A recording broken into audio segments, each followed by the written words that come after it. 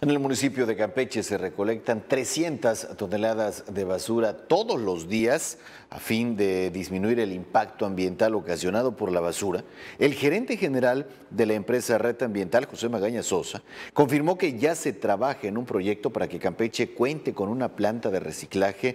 Sin embargo, la separación de desperdicios debe iniciar en los hogares, por lo que celebró la iniciativa implementada en la Ciudad de México, donde esta práctica es una obligación. La intención es esa, esperemos que en un futuro muy cercano, porque nuestra intención es lograr hacer una pequeña planta de, recicladora de tratamiento y separación para que estén, podamos participar ya en, ese tipo de proceso. ¿no?